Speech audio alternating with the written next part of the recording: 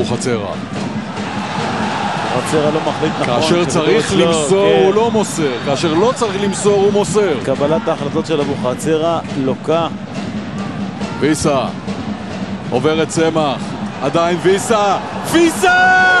איזה מבצע! איזה שער גדול!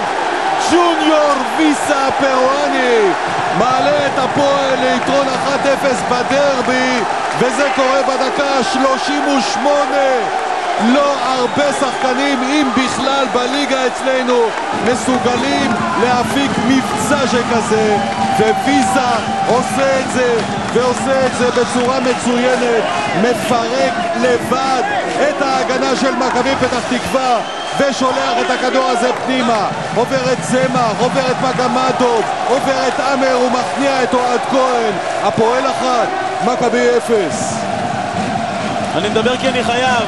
האוטומט שלי זה לשתות, לראות וליהנות. כמה טכניקה אמרנו יש בשחקן הזה. כמה חשוב שיישאר בכדורגל שלנו ולא חשוב באיזה קבוצה.